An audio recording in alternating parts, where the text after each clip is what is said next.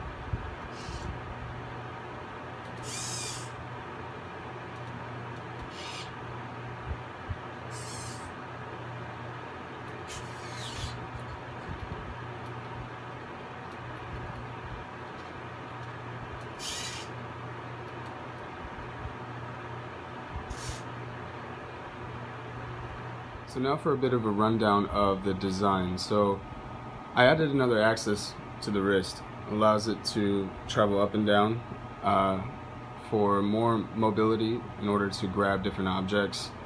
And it's more advanced in a sense.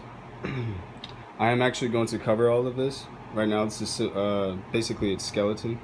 It's going to be kind of like a forearm guard. It's going to look really cool. Um, I also uh, made sure that I placed the servo within the hand to to make sure that I saved on a lot of space. And when designing this, I was thinking of prosthetics. I was uh, imagining if it could be applicable to um, a human user. But um, it's got its uh, problems, you know. It's uh, it's probably my best hand yet and uh, I'm also going to design a second for the uh, left arm but the next hand that I develop will have uh, the micro servos and it'll definitely help using the micro servos because I'm trying to be aware of how much space is being used in order to uh, conserve um, basically the, the elbow actuator because if this gets too heavy then that's just going to be a problem. I won't be able to lift any objects in the future. So in turn adding the wrist actuator it generates much more mobility on the robot and I can definitely pick up more objects which I need to make a video of me manipulating more objects uh, while using the rest of the arms as well.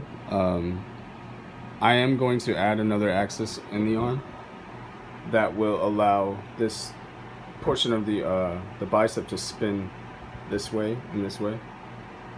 Um, but um, I'm kind of on a schedule, so as soon as I'm done testing this hand, I'm actually going to uh, finish developing SD1 senses in the head. So I kind of like to work on something, work on the next thing, and kind of go in a circle that way I don't get stuck on one thing for too long.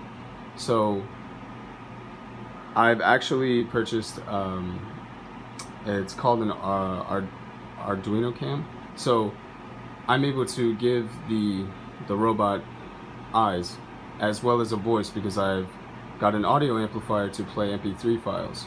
So it's going to be really fun. So stick around. Also, I would like to say thank you to all my new subscribers. If you're watching this video, thank you so much. And to all of my subscribers.